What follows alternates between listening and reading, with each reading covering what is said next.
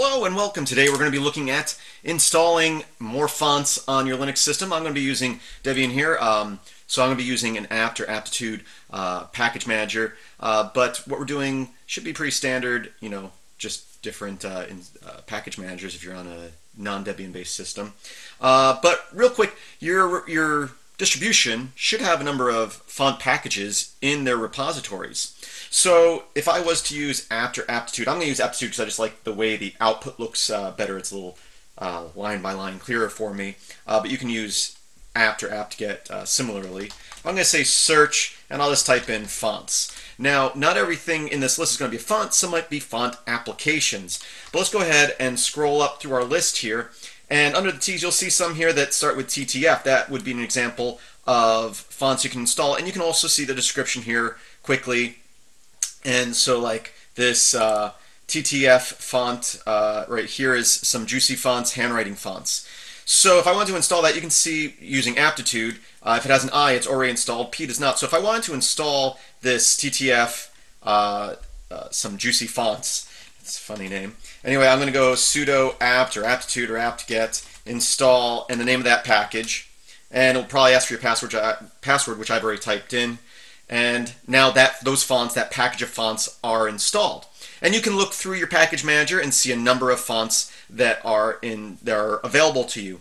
Um, but if you want to go outside that, those are a lot of basic fonts. In fact, let me go real quick, search that again, come, go back up here. Uh, for example, you might want to install something like these MS Core, these Microsoft TrueType fonts, because those might be fonts that are commonly used by people, especially coming from a Windows system. And certain applications like Word documents and stuff may not display properly if you don't have the same fonts as them. So some of these packages might be good to install. Uh, so just look through and see what fonts you want to install.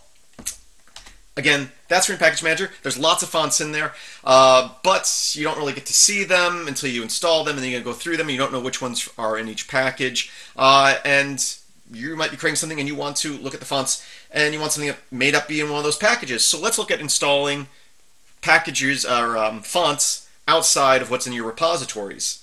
Uh, here, if you were to Google search free fonts, one of the very first sites that's going to come up is this 1001 free fonts. And they have lots of fonts. They show you what they look like right here. You can even uh, type in your custom text here if you wanted to. You can see like Linux, and then you can say update, and it'll actually show you those fonts with whatever words you type. So you know exactly what uh, the words, and some of these are very artistic, not actually uh, letters. But you also break it down to category. Do you want ones that are medieval looking?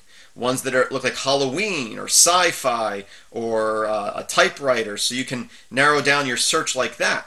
But how do you install these? Well, first thing you want to do is download uh, the font file, which is going to download a zip file, and you can unzip it using whatever uh, I use unzip from the shell, but if you are in your GUI package manager, you'll be able to just double click or right click and say extract to here. And you can see that we have one right here called My Type Font. So what we need to do is install, well, there's different ways to do this. I'm going to show you in this tutorial how to do it from a GUI interface. Uh, and if you're on something like Ubuntu or Linux Mint, uh, you're going to probably already have a font manager installed. So here I am in my um, file browser, and I can double click this, and it opens it up in an application, my font manager, and I can quickly click install. It also tells you the name of the font here, my type of font, uh, which sometimes the file name of the uh, the TTF or in some cases the OTF files may not actually be the name of the font. So you want to look here what the name of the font is so that when you go into your Word document or GIMP or something where you're going to type, you know the name of the font. It's going to be listed up here at the top. All you have to do is click install and it will tell you that it's installed. Uh, and if I was to open up something like Writer, LibreOffice here, and I type in my, uh, what was it called? My type of font, there it is. It's installed. And again, if your system doesn't already have a font manager installed, uh, just do sudo apt install font dash, let me uh, make this full screen here, manager. And I already have that installed, so it's not going to install it again. But there you go, you can install that. And again, once you do that, you should be able to just double click on a TTF or any type of font file and then click install. It will give you a preview and you click install. Now, one other important thing to realize when you do this, so let me download another font here. I'll just download this one here.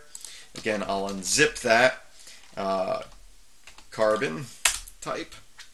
And if I go here again, I can go carbon type, I double click that. Again, look up here to make sure you know it's called carbon type. Again, because the file name is not necessarily the font name.